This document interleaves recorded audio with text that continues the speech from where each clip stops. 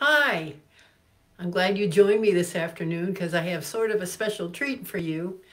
Um, it's going to be doing artwork that, that I've showed you the last couple times we've been together, only this has a direct application. Um, you can see this little little critter down here on my, my drawing board. Um, it's a painting I did for a book illustration um, which led to a whole series of drawings being the illustrator for an Indianapolis artist named Diane Banks. And she had a, a dream of writing some books involving her dog. Her little dog is the main character. So fate led us together and she wrote the books and I did the illustration. Um, the first one is called Squirt Gets a New Home she her own dog is named Hershey, and she wanted to use that name in the book, but the Hershey company didn't think that was a good idea. So the character was renamed Squirt.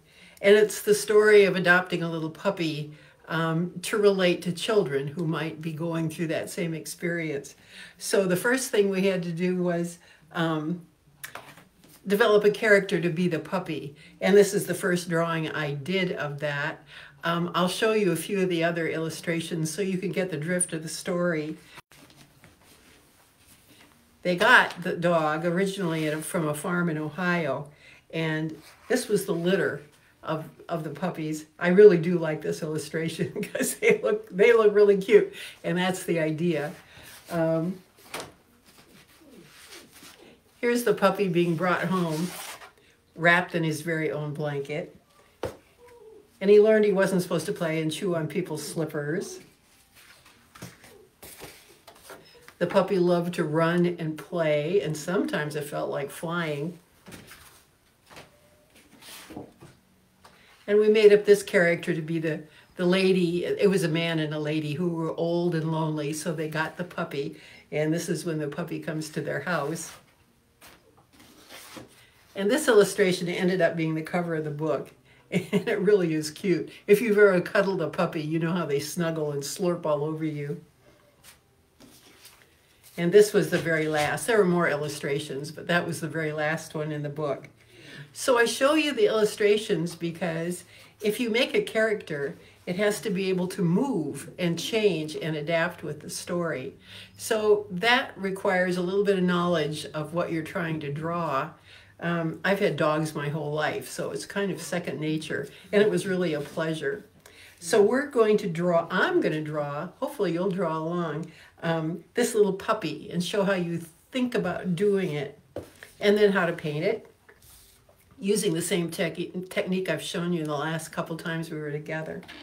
So first of all, let me go back to my original one. You'll notice that the puppy's head and its body are the same size. The head is that big, and so is the body. Um, because in any little creature, their heads are born just like little our little babies. The heads are born almost close to adult size, if the body is not. So we'll start with a circle that we're going to adapt. And I won't do the body yet till I get the, the head the way I want it. And about, if I'm looking at the top part of the head, here's the snout or the muzzle that comes out from a dog. So if I'm looking at the between the mouth and the top of the head, about halfway is where the eyes are going to be. Um, and once you get the eyes in place, then everything else can gauge from that. Can you put that on your palette? And then we'll see it. Oh, that's a good idea. There, now you get good idea from my my executive producer here. So I'm going to mark about halfway. And I'm going to bring in the edges because the fluffy hair on his muzzle goes out much more. Um, you'll also notice on the drawing that because of the way his hair grows, he actually has a little peak on the top of his skull that makes it look distinctly like this little dog. So the real dog, Squirt or Hershey, has very beady little eyes that are really bright. And that's the first thing you notice about him. So I'm going to put the eyes in first. Everything else then will measure from that. Uh, I think I got that a little bit too close. Erasers are an artist's best friend, you know. They're called mind changers. There, that's a little bit better. Okay, now his muzzle starts about right here and then flares out to the side. Now, to find out where his nose fits with his eyes, this is a really handy technique. You lay the pencil right on the outer edge of the eye and the nose. Keep that same angle. So I know it needs to be somewhere right in there. Do the same thing on the other side. And it's going to be about right there. Now I know because I've got some sort of perspective on it where I'm going to make that little nose. That's a handy technique no matter what you're drawing. If it's a, a building, a landscape, anything, you can do that to compare sizes, angles, and distances. Okay, now right below his nose is where the muzzle actually shows a separation in the where the way the hair grows, the structure of it. That's true on any dog. And then right below that is the little mouth and his tiny little chin that angles back up on both sides. There, now I can take away these outside lines for now. I don't need those anymore.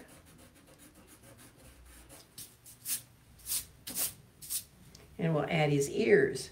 Now, how high are the ears? Again, I can use that same measuring technique.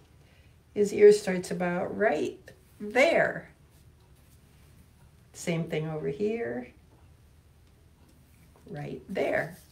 So I'll add on the shape of the ears, which are big, long, and floppy in this kind of dog. And add an ear over here.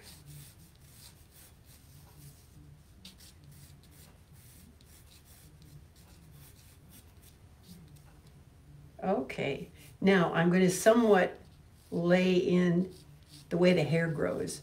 He, this is a very fluffy, curly dog. I should tell you, I think he's a cockapoo. Um, and his, so his mother was a Cocker Spaniel, and his father, uh, the big size poodle. I'm not sure, is that called standard poodle? And he had lots of fluffy all over, curly fluffy. Still does, as a matter of fact.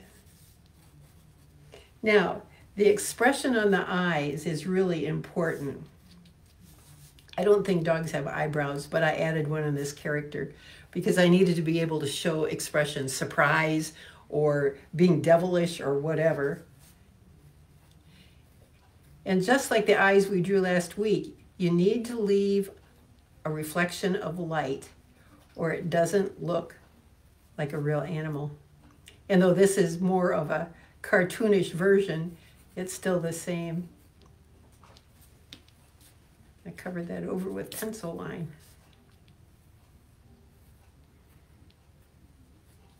There's a white part. And then he's got curly hair that goes all the way up through here.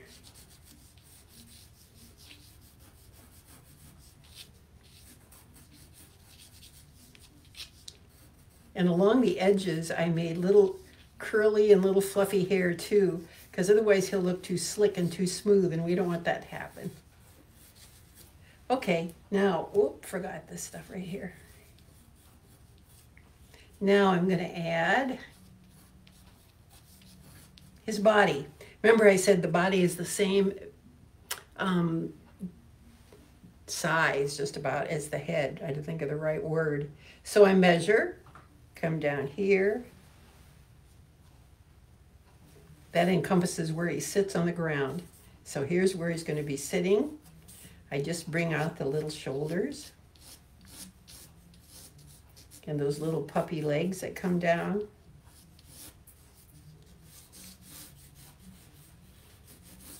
Now on this side, I could see a little bit of his round tummy. His little belly is back there. And when you're drawing, it's a good idea to be aware of the structure. That bone in a dog actually comes right down through there. It's got some solidity to it, even though he's fluffy and little.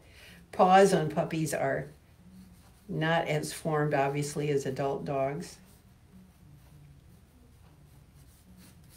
And then I need to add all the curly, fluffy hair. Who doesn't love a puppy? And on this side, same thing.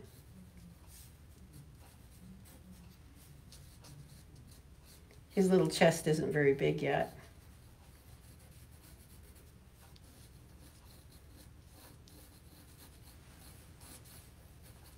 And one more little paw.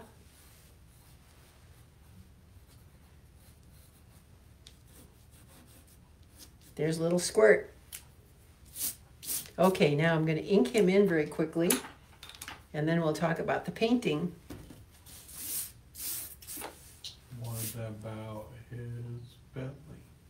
Oh yeah, thank you. I forgot his belly. Right here.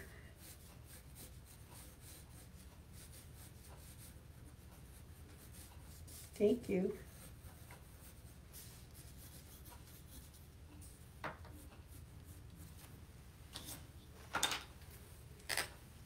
Now the inking part is easy. Because the looser and freer you are, the more it looks dog-like.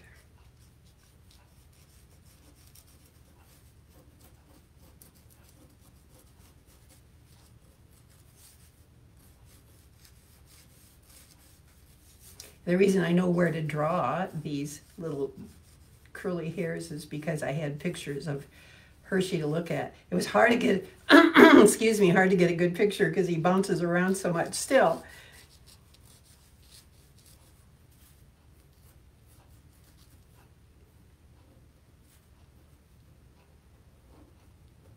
Better put nostrils into.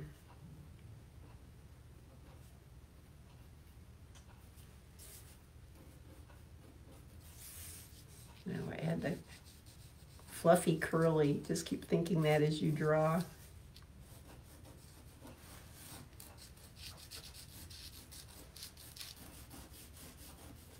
All dogs have patterns in the direction that their hair grows, and they're distinctive to each breed.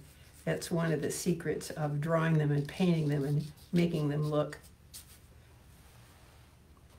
authentic, if you will.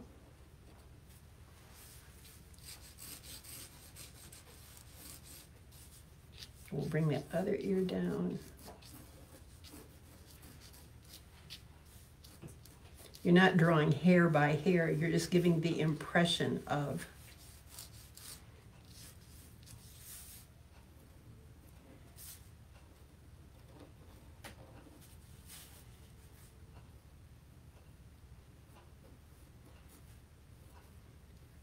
Put a little lower lip down there. Okay, now we'll come and add his fluffy little coat out here.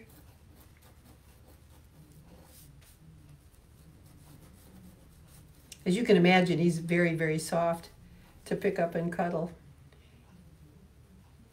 Though he's so squirmy now, it wouldn't be as easy because he's obviously not a puppy anymore. We started this project about two years ago and Diane did three books Two of them are printed and available at Amazon. The third one's to come out this spring, I think. And Squirt is the main character in all of them, though he gets little a lot of friends as he goes, and I'll be show, sharing some of that with you too. There. Okay, now let's put some paint on this little guy. The colors I used in this one, though you may have noticed when I showed you some of the other illustrations, um, he changed color.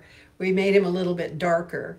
I'm going to paint this one as a, the way I did the first one with a lighter color, though the colors are the same. This one just had more of the brown in it. Um, I have to wet my palette.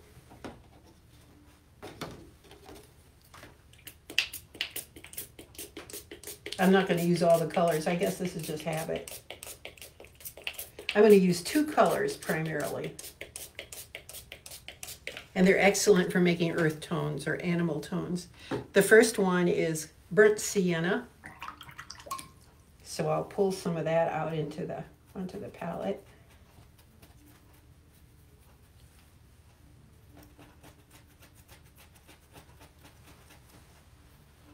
And the second one, which I don't need out right now, is ultramarine blue. There's a reason, not just because I want the dog to look like a dog, but in really simple color theory, um, blue and orange are across from each other on the color wheel. And what that means is they can neutralize each other if they're mixed together. And that's also how I get the darks, the black for the eyes and the deep dark places behind the ears. It's just mixing the two together. Pretty slick, huh? You don't have to use another color. That means everything is unified because of your color selection. So I want a very light tone. So I'll add more water. Let's see, we'll pull up a little. My brush strokes go the same way that the hair would grow. And I'm also going to leave quite a bit of white. That's one of the trademarks of watercolor painting. Tissue.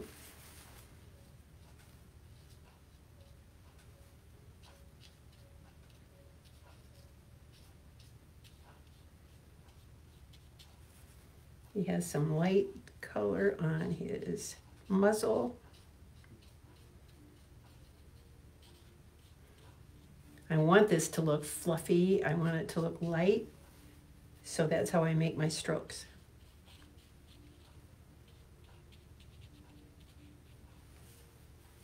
And even lighter down here.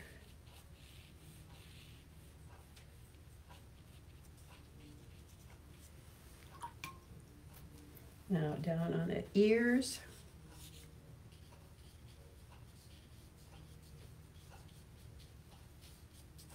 Over here. Again, I'm stroking just the way the hair grows, the way I drew it. Now, you'll notice in the original one, there's dark behind the ears where it moves around the muzzle. And there's his hair was colored darker on these little angles down from the eye. That was that's part of the dog's coloration. So to make that darker tone, I'm going to pull out some ultramarine blue.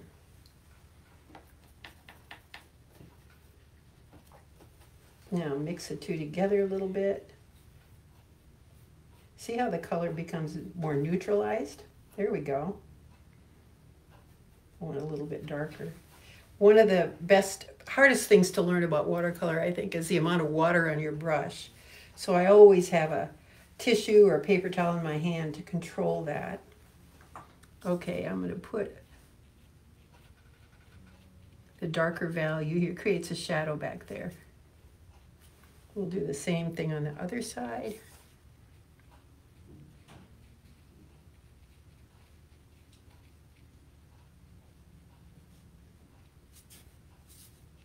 then I'm going to make that little shadow not quite as dark from his eyes. It goes back into the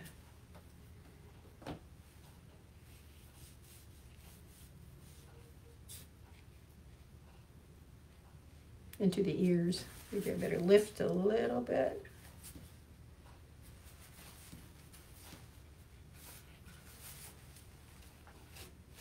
I didn't want it quite that dark.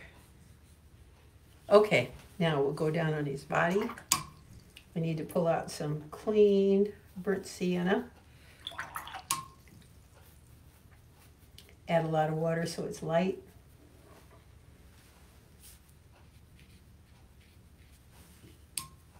I'm pulling this out with water now to keep it lighter.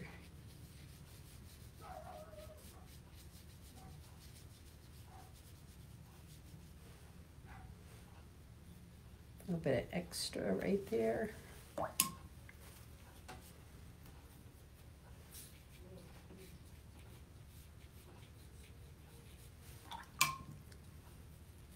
And even though I've put the paint down, I can pull it with water to make it lighter.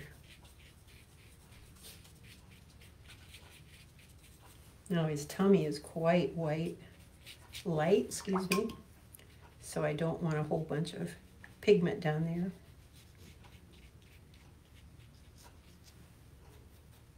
Come over to the back over here. Just for contrast, I'm going to darken it a little bit.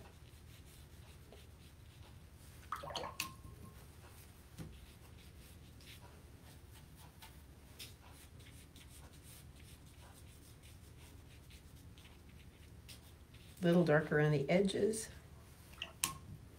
and pull the color down.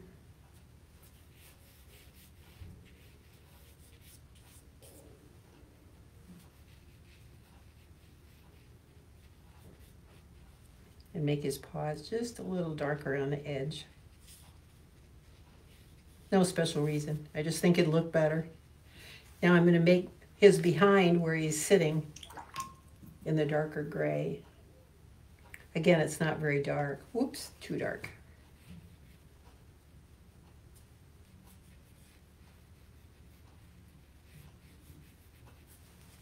That has the effect of pushing it back. Now the last thing we're going to do is paint his nose and his eyes. That's the fun part, of course. Have to make his mouth a little bit darker. That means I have to mix up a black. So if you take the blue and the orange and mix them together in equal amounts, you'll get a rich black color. Most watercolor painters I know don't use black out of a tube. They mix their own. You can use it out of, you can make it out of any two colors that are across from each other on the color wheel.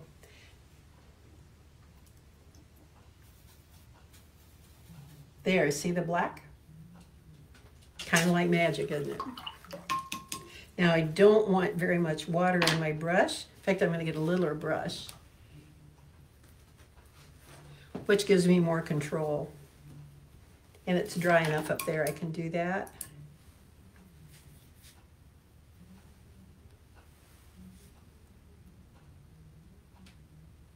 don't want to lose that white spot. But if I do, I can paint a dot of white on it.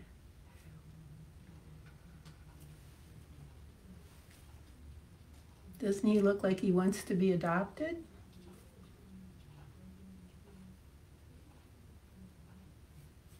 He's pretty cute. Okay, now let's paint his nose black.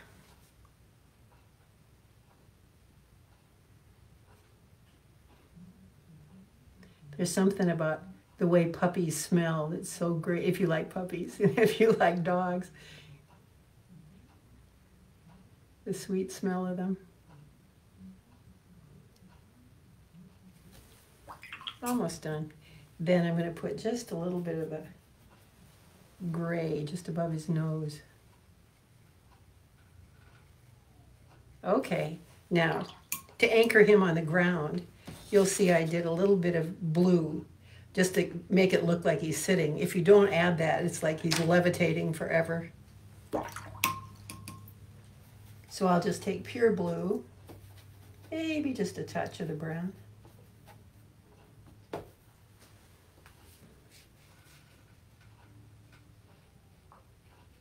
Bring it right up underneath.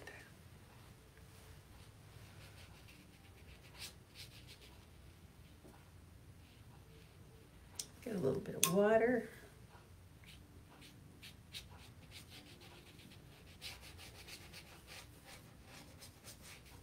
There. That was quick and dirty, but we're done. Excuse me.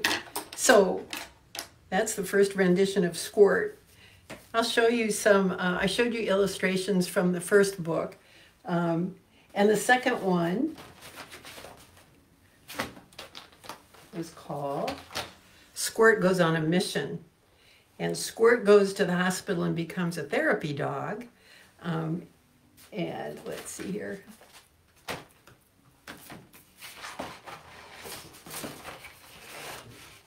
This illustration, excuse me, this illustration showed him coming to the hospital for the first time.